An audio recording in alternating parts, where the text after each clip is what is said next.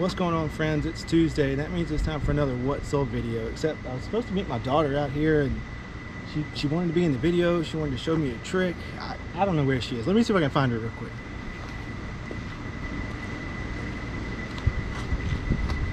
These are top 10 items my dad sold this week on eBay.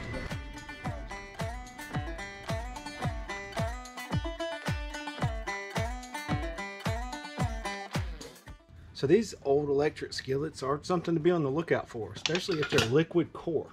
You see it written on the bottom there. The Salad Master and the Towncraft ones can bring some really big bucks. I'll put the comps up here. But this is a Lustercraft. Paid $7 for it and it sold for $64.50.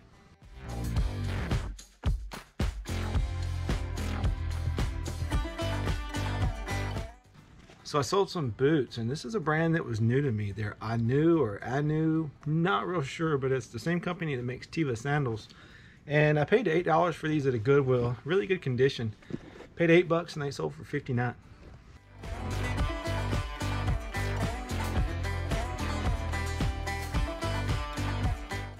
So I sold this shirt. This is a Dale Earnhardt all over print t-shirt and it's not very old. It's got the printed tag and it's double stitched. I'll put some pictures of it up here. But I paid a dollar for it at a thrift store. I sold it for $49.99.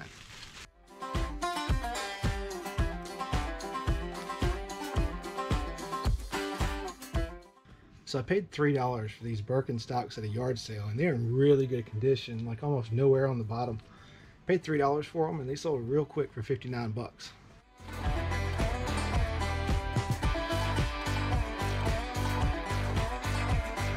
So I sold this Coleman LP gas lantern. It's a model 5120 from 1964. Really good condition. Paid $5 for it at a little estate sale. And it's actually taken apart because I'm in the process of shipping it. I actually wrapped the globe up separately, put it in a little box, put all this in a bigger box, wrapped this stuff up in bubble wrap real well. Paid $5 for it, sold it for $79.99.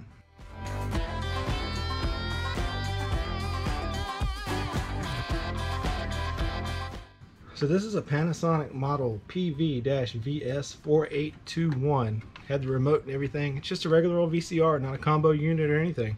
Paid $5 for it at a Goodwill, and it sold for $92.50.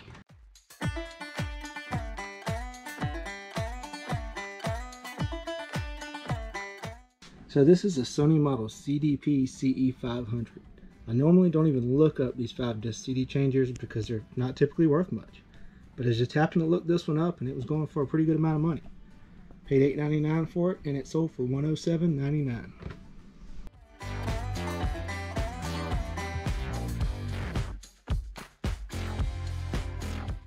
So this is Dove Calming Night Soap. This is a discontinued item, so it's something to be on the lookout for.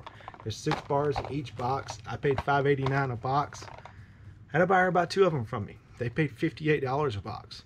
So all in, they're in $116 plus tax for two boxes of soap.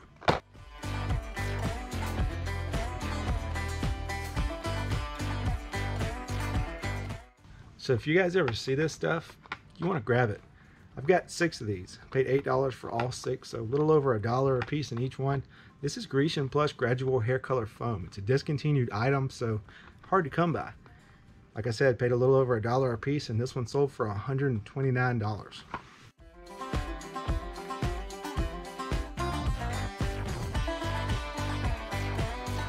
So if you guys remember, I paid $75 for a huge trunk of vintage G.I. Joes at a garage sale. had a bunch of figures and vehicles in it.